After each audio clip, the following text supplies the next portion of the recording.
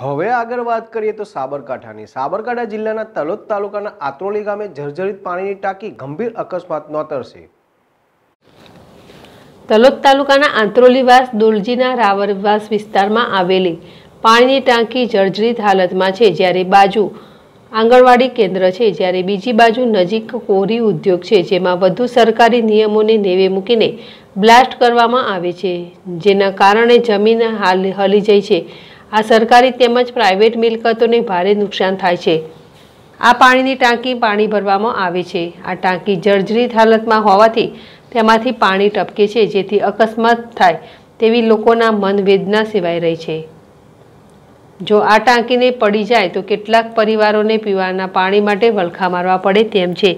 જ્યારે સ્થાનિક લોકોની માગણી છે કે આ ટાંકીને તાત્કાલિક ધોરણે રિનોવેશન કરાવવામાં આવે, નહીં તો પાડી નવી બનાવવામાં આવે તેવી માંગ ઉઠી છે. જ્યારે સ્થાનિક લોકોએ પંચાયતને મૌખિક રજૂઆત કરવામાં સત્તા પંચાયતના સત્તાધીશો આંખ આડા કાન કરી બેઠા છે અને અકસ્માતની રાહ જોતા હોય તેવું સ્પષ્ટપણે દેખાઈ રહ્યું છે.